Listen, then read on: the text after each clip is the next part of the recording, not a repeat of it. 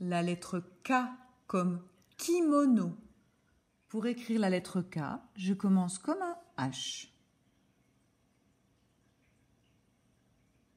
Mais je ferme le pont et repars. Je commence comme un H, je ferme le pont et je repars. K. Je vais écrire un kilo. Un U N. Kilo. K I L O. Kilo.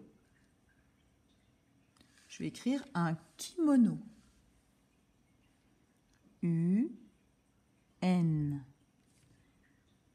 K je ferme le pont je repars. I M O N O. Kimono